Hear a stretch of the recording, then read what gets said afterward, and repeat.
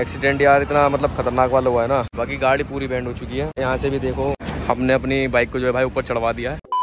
Hello everyone welcome back to the blog guys कैसे आप सभी लोग? होप करता हूँ सभी लोग अच्छे होंगे बढ़िया भी होंगे। गाइस अभी यार जो आपने क्लिप देखी ना, ये क्या सीन था? किसकी गलती थी और किस वजह से हुआ था? ये सारी चीज़ें तो मैं आपको आगे बताऊँगा बट मैं चाहता हूँ उससे पहले यार आप पूरी वीडियो देख लो। और आप भी मुझे कमेंट करके बताना भाई, ये जो क्रैश हुआ था, इसमें गलती किसकी थी? तो अभी पहले आप ये वीडियो देखो देन उसके बाद मैं आपसे बात करता हूँ। भाई।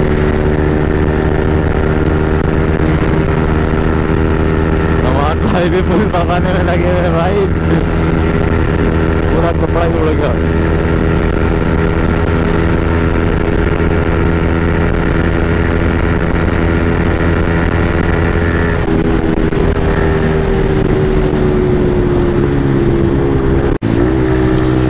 ये है भाई हमारे साथ तीसरे बंदे।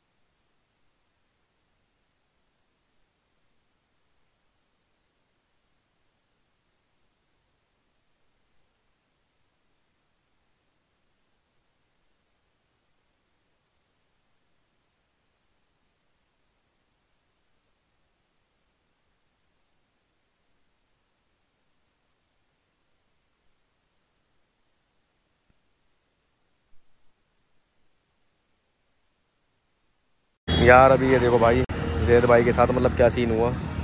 एक्सीडेंट यार इतना मतलब खतरनाक वाला हुआ है ना। आप गाड़ी की कंडीशन देख के अंदाज़ा लगा सकते हो। पूरी गाड़ी जो भाई बैंड हो चुकी है जैद भाई की और एम टी फिफ्टीन बाइक है जैद भाई को आप जानते हो, जैद भाई तो यार मेरे साथ ब्लॉगिंग करते हैं। तो बाकी गाड़ी की कंडीशन देखो यार। कंडीशन के हिसाब से आप समझ ही जाओगे। मतलब क्या सीन हुआ है क्या एक्सीडेंट हुआ था ये। बाकी गाड़ी पूरी बैंड हो चुकी है। यहाँ से यहाँ से भी देखो फेयरिंग देखो फेयरिंग भी आपको दिख रही होगी यहाँ पे दोनों साइड से भाई फेयरिंग खुल चुकी है इस गाड़ी की। और मतलब गाड़ी चलने की कंडीशन में बिल्कुल भी नहीं है। इस तरीके से गाड़ी का एक्सीडेंट हुआ है। कुछ ऐसी शेप हो गई है गाड़ी की। मतलब सीट जो सीधी होती थी, वो पूरी सीट बैंड हो गई है। और पीछे से टायर में भी भाई जो मतलब टायर अगर था, उसकी जो लोहा वगैरह होता है ना भाई, वो भी टायर के अंदर घुस चुका है। मतलब गाड़ी बिल्कुल भी चलने की कंडीशन में नहीं है। और इधर दिखाऊँ आपको, ये स्क्रैच देख रहा हूँ? स्क्रैच से यार आप अंदाज़ा लगा सकते हो मतलब कितना गंदा एक्सीडेंट हुआ था। बाकी रोड का कुछ मैं आपको दिखाता हूँ सीन ये आपको आई थिंक भाई शोर होगा। धूप ज़्यादा हो रही है बट फिर भी आपको शोर होगा, ये देखो। पूरे में मतलब यार टायर वगैरह के निशान बने हुए हैं। गाड़ी जहाँ से वो स्प्लेंडर आ रही है, वहाँ से गाड़ी स्लिप होती हुई आई सेहत भाई की। और यहाँ पे आते आते भाई डिवाइडर में जाके लगी। इस डिवाइडर में इनकी गाड़ी लगी है। यहाँ पे पूरे स्क्रैच वगैरह बने हुए हैं, देख लो। और भाई के भी यहाँ पे यार लग गई है बहुत ज़्यादा, देखो। यहाँ पे भाई के कपड़े वगैरह भी फट गए हैं। यहाँ से भी साइड से भी। और पैर वेर में भी लगी यार बहुत ज़्यादा। बाकी भाई की कंडीशन थोड़ी ठीक है नॉर्मल है। चलने वलने लायक है। गुम चोटने लगी है बट जो है मतलब स्क्रैचेस वगैरह आई हैं। लेकिन बाइक की कंडीशन यार बहुत ही ज़्यादा ख़राब हो चुकी है। आप देखो यहाँ पे। क्या कंडीशन हुई है यार? बाइक की कुछ समझ में नहीं आ रहा, देख रहा हूँ? बहुत ही बुरी कंडीशन हुई है। और गाइज़ इस टाइम हूँ मैं आपका हाईवे रोड पे। ये पड़ता है यमुना एक्सप्रेस वे तो दिल्ली वालों को सबको पता होगा, नोएडा वालों को पता होगा। ये यमुना एक्सप्रेस वे पड़ता है। बाकी ये लोकेशन है और ये वाला रोड है यमुना एक्सप्रेस वे का। बाकी कुछ ये कंडीशन है भाई की बाइक की। देखो भाई, कुछ हालत ऐसी हो रही है बाइक की हालत बहुत ख़राब है। बाकी इधर मेरी बाइक है, उधर एक K T M R C two hundred भी खड़ी हुई है। भाई ब्लॉग बनाने जा रहे थे हम तीनों लोग तो ये सीन हुआ यार हमारे साथ कुछ।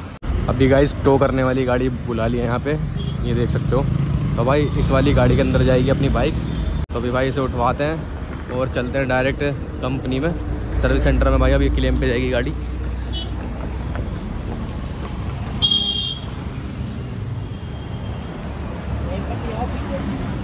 होप करता हूँ अभी आपने ये पूरी वीडियो देख ली होगी। दरअसल सीन क्या था मैं आपको बताता हूँ, मैं जैद भाई और जो हमारे साथ केटीएम वाला भाई था, हम तीनों जा रहे थे भाई अपनी ड्रैग रेस बनाने यमुना एक्सप्रेस पे। जो दिल्ली नोएडा वाले बंदे, उन सभी को पता होगा यमुना एक्सप्रेस कहाँ पे तो वहीं पे हम ड्रैग रेस बनाने जा रहे थे। देन उससे पहले एक अननोन पर्सन आया उस पर होंडा की कोई सी बाइक थी। तो भाई उसने हम तीनों को देख लिया। तो जैद भाई की उससे मतलब थोड़ी सी मतलब रेस वगैरह हो गई थी हाइपर राइडी से कह सकते हैं। तो जैद भाई ने अपना कैमरा ऑन कर लिया था उस टाइम पे ही। मैंने और केटीएम वाले भाई ने कैमरा ऑन नहीं करा था। हमने सोचा, यार, अपनी डेस्टिनेशन में पहुँचेंगे देन जब भी अपना ड्रैग रेस वाला ब्लॉग बनाएँगे। रास्ते में कुछ ऐसा सीन हुआ के वाले भाई ने अपने थोड़े ब्रेक मार लिया यार, अचानक से ही, और जैद भाई उसके पीछे ही थे। और 99 या 100 के करीब स्पीड थी उनकी। तो उसी बीच में भाई जैद भाई का क्रैश हो गया। और इस क्रैश में यार बाइक की जो कंडीशन थी, आपने देखी होगी बाइक की कंडीशन यार बहुत ही ज़्यादा बुरी हो गई थी। तो वहाँ से भाई हमें क्रेन वगैरह बुलानी पड़ी। प्रॉब्लम हुई बट जैसे तैसे करके हमने सोल्व कर ली। जैद भाई को ज़्यादा चोट नहीं आई नॉर्मल आई है। बाइक में बहुत ज़्यादा खर्चा बैठा है, जो भी है, वो तो हमने क्लेम पे डाली अब भाई उनकी बाइक कम से कम दो महीने बाद आएगी क्लेम पे से। बाकी यार बहुत ज़्यादा टेंशन हो रही आज पूरे दिन इसी चीज़ में बिज़ी रहे थे हम। और उसके बाद भाई हमने व्लॉग जो था अपना नहीं बनाया, बस वही था।